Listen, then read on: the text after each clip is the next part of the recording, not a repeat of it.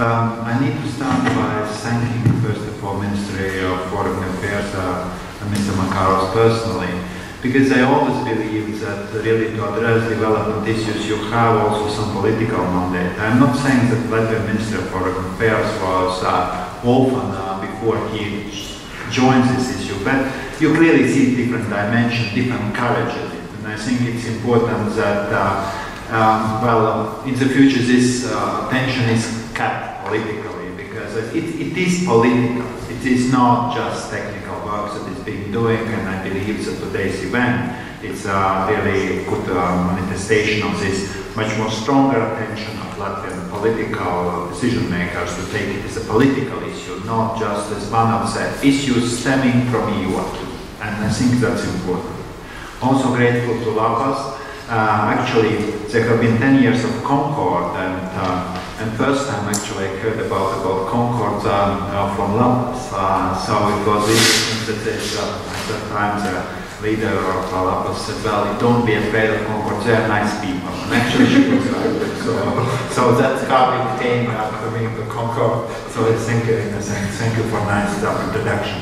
And I also to thank the man moderator because I believe it is a it's intellectual issue and it is definitely important Latvian intellectually very much address the issue because it's again not about where we spend the money and how we spend the money. It's a bit different. What we would like to be, what is a, what is a nation's aspiration.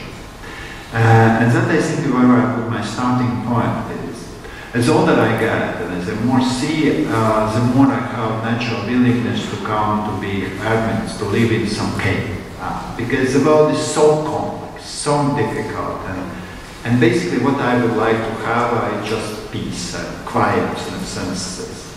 And why it comes so because actually there is no clear driver why we are in this world. And I think philosophers have been actually right, because what I would care is that I have enough food and some entertainment. So that's what I basically would be uh, like uh, addressing. And then the issue of inputs and outcomes, it's very tricky. In Latvia, it's a lot of discussion about euro. But euro is only me. Actually, what we would like to achieve, that is more important. What we would like to achieve is that people have stability uh, in their lives, so they better, that they have more economic opportunity, and definitely that they have more political opportunity. But how to express it is in the reasonable voice, it would be by far it's rather difficult. And I think in this Euro debate, Latvia is it's one of the um, well one of the cases where you you you put a lot of attention on the input and actually don't speak about outputs, And I think that is a weakness of any political debate until now, but I have seen also globally. And post 2015 debate, I think it's the first one. Well, basically we speak about outputs or outcomes in the best case. And I think it's important to emphasize what we are trying to discuss. It's not about development cooperation in classical. Because development cooperation, in principle, it's solidarity, it's support, it's help. What post-2015 agenda is, in the world we would like to live. That's what we would like to have. That is why the issues we would like to address. And that's why this agenda that we would like to build should be the one that we would wish to ourselves, first of all, because we are not different than it. And that, I think it is universality, is very crucial. Then there is another issue that I think most of us uh, in this room are also young people. But then it is also the sustainability issue, because even assuming that Earth will disappear because of some comet coming or, or, or sun exploding. It is so distant future that somehow I assume that um, Earth is eternal.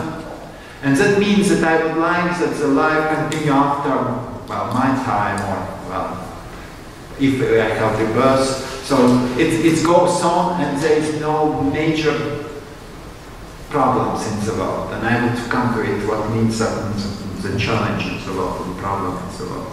So my point is that post-2015 agenda is an opportunity to really to agree on the world we would like to, to have. And agree also on some, some rules for this and some responsibilities for this. It's a bit like traffic rules. Uh, Uh, I have now been driving cars in, in, well, in, in Europe, I have driven, driving cars in UK, so I have been driving on the right side and on the left side. But I would say basically it's, it's the same. It's not too much difference because what we would like to avoid is that there is collision and somebody get killed. So I think that's what we try to establish with traffic rules. And exactly the same in my opinion. We try to establish this post-2015 agenda that there are no casualties. Where casualties are coming? It's wars, it's uh, well food, not sufficient food, it's not sufficient water. Uh, there where the casualties are coming.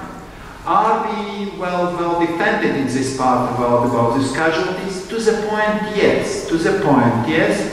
But uh, I would still say we don't know, for example, impact of climate change uh, also for, for Latvia. So uh, we are rather lowland, so this is a sea water raises, perhaps it is a challenge for us. So I would like to avoid any type of risk in this sense. And um, and there is a possibility from previous experience really to establish this traffic rules because MDG process basically was designed to help the most poorest people, but with a global support. And as the time comes closer to 2015, people are saying, well, it's, it's, it was right. It was right because it helped at least focus attention and for governments to address particular policies to provide food, uh, provide access to water, sanitation, and also to look on the incomes uh, for the most poor and the world has to get better. But is it sufficient? No. It's very clear not sufficient, and then the other issues comes in. Because to be, well, satisfied with the life, it's not, as I simplifiedly said, it's uh, what I am interested in is just, uh, well, food and entertainment. Because part of entertainment is good job, at least, well, not for me, anymore, but for young people, it's, they still feel the aspiration for good job matters. So that is one of this. The second, that I don't feel disprivileged because of my income level. And then the issue of inequality is raising because it's not only that, uh, well, rich people is something that, uh, well, we know that, no, it's not about it. It's about being fair in distribution of wealth. And that is rather tricky issue because where we stop with this, but still, inequality issue in general is a, is, is a challenge. So when the Commission started to think about it, and we, when we put forward, we basically put like five blocks, and it was more or less followed. First, that no one should suffer from the things that you could prevent. It is access to food, uh, nutritious food, access to water, access to sanitation, giving at least decent means to survive. Uh, and it's not the case, like now there was estimation of crisis in, food crisis in Somalia, and it brought 215,000 deaths, and basically about half, half of this were coming children under five. So this was preventable. So, but it's really extreme poverty that you do. Then you give the elements, what this means sustainable development access to energy, access to uh, access to infrastructure, access to uh, education, and education not anymore just informs that I am, have been two days at school, but actually I have some knowledge. I think that is a second. Third, it's transforming economies for jobs and inclusive growth. And uh, uh, inclusive growth, it means this equity issue comes in. Fourth, building peace and, uh, and uh, um, effective, open, accountable institutions, and security. Because what I personally hate most in the world it is violence. And where I'm proud about the panels that came out um, in the, well, goals, they said that eradicate all type of violence against women and girls. This country is not the one that has a, a lot of discussion about the issue and a lot of attention in the issue. But in lots of parts of the world, it's really devastating uh, what you see and hear about this violence. And it was first time formulated. And also formulation, another formulation that I like a lot, avoid child marriages. Because that I think that is really strong change. It's, it's behavior change that we try to eliminate all type of violences. And I believe we need support of civil society if we would like to survive with this, because these are moral categories. It's not so much measurable, but uh, it is definitely important this framework includes this.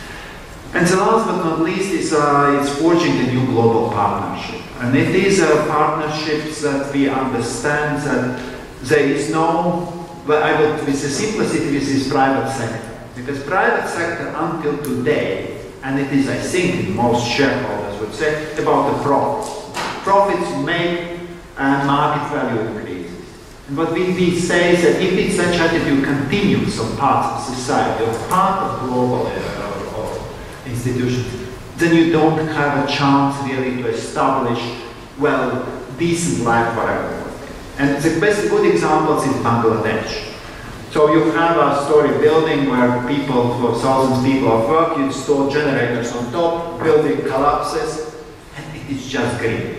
And it can't be like this. It, it is just greed, and, and it's, we could say it's government failure, but first of all, it's really is a corporate business failure, and they should not tolerate because if they don't tolerate this, we have always come too late some particular cases. And I think that's what I mean with this global partnership. So I think this post-2015 process we could discuss more, but I will say that it's universality, sustainability, and it's, it's, it's a roadmap what we would like to achieve for everybody. And I think that's quite a, quite a high order. Now about the civil society organizations, because uh, uh, it is a crucial element in any society. And even if it's now in European societies, it's, uh, I would say, some ice age for civil society activities, I still believe that as an individual, uh, and I'm coming from myself, I would say, as long as I have no problems, I don't care about anything, neither for state, neither for civil society. Fine. I am fine. When I have a problem, first I expect that state will take care of me. Well, in most cases, if it's decent state, it will take care. But there would be cases in between when state doesn't care about me. And I stay alone, exposed with my tragedy, and no one cares about me. And then the civil society is actually the only one that basically will defend me. And that's why for me civil society's activity or strength actually is defense of my individual freedom and my individual survival. And it's difficult really to formulate it much more stronger, but it's about my protection. And that's why we try really to not only through civil society provide support for most poorest people. It's not the main objective. It's actually main objective that people are not indifferent. That people should understand that, well, if you unite defending an issue, and it could be, well, questionable sometimes, then you protect actually the most vulnerables. Most vulnerable, and most vulnerable, it's not necessarily the most poor. It can be one of us. And I think that is where this strength comes.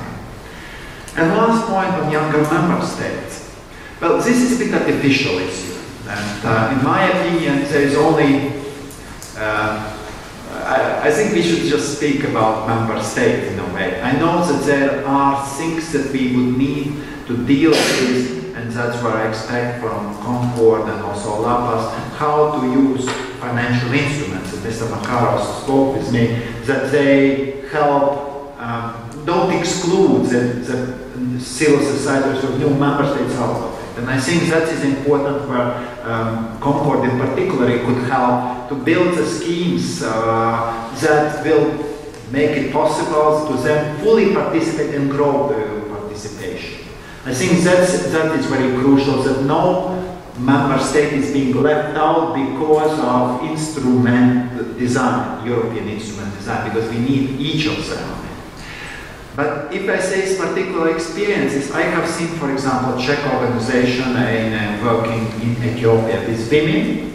And what I like, but I believe it is not just a unique experience, it basically was empowerment of women through the work to get politically more stronger. So it's very, the basic idea is there is small money invested, women, well, basically make some economic activities with government, so they got more money. Uh, it's hard work, actually. But they also organize themselves. So it's basically seed money and some also education money.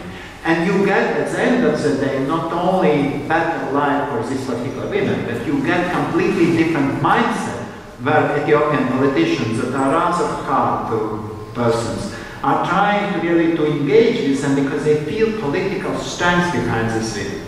And in these type of projects, it's not big scale project, but I believe this type of projects is exactly what I would come expect from new member countries. And on, in this respect, I always argue that we need to increase, uh, uh, especially for new member countries, the financing for, um, uh, for, for development aid.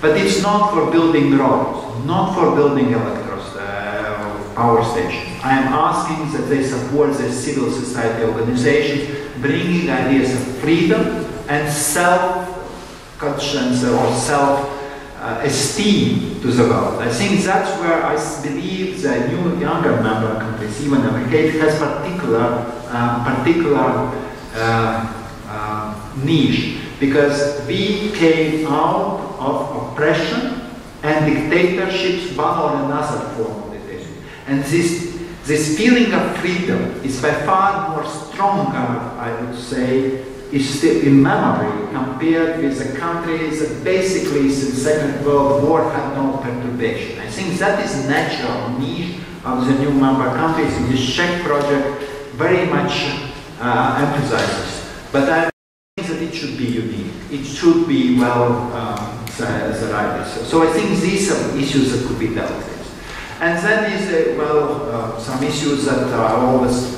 preach to my particular African um, African colleagues and also the leaders of these countries, courage of reform, reforms. Courage of reforms is new member countries definitely has been immense, immense, uh, and you can't always copy the political situation. I, for example, mean property rights, because restitution of property, I, I believe what Baltic states went, it's, it's unique political experience, because you not only establish property, but you go through the rate, well, giving back former property, uh, property and getting all the social consequences out of it. It's enormous political process that definitely uh, transformation you went in. And I believe it's definitely worth to study and uh, in some cases also to take some examples. But I don't think that it should be purpose per se. I believe that unions should, um, goal should be bring freedom and uh, to the people. Thank you. I am the more um, It's a like, question about Euro that they should join 2014 or not. Um, you will never find big critical mass uh, in society for this. It is a political courage to lead. I think that's what it's about. And UN process should, uh, where the governments engage, should find the way to lead the way, because there will be never critical mass to push this business as usual is okay, basically, for most of us, I would say. No, perhaps say it's more ambitious audience, but normal audience would say, well, business is not so bad, I, why should I change anything? And this vision is very much political vision. That I think where the political role is, not to stay on business as usual scenario. You could make mistakes, but you should leave. This is again, there's this parallel with Latvian government. They took a risk they are defending this. And I think, well, society is some is supporting, some are not supporting. Uh, that's clear. But they took responsibility to move it forward, not because it was business as usual. Business as usual would say, we will join Euro one day. And I think that is important that it grows in bigger ambition uh, globally, but also responsible ambition to implement it later. And I think that's uh, what it's all about. So business as usual could be a scenario. I couldn't exclude it because uh, most parts of the world is, is uh, satisfied how they're. Okay, thank you.